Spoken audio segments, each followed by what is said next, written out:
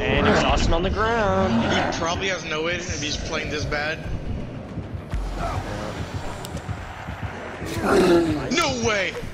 Watch this fucking CJ. CJ, exotic, CJ. He's pulling up. Oh shit.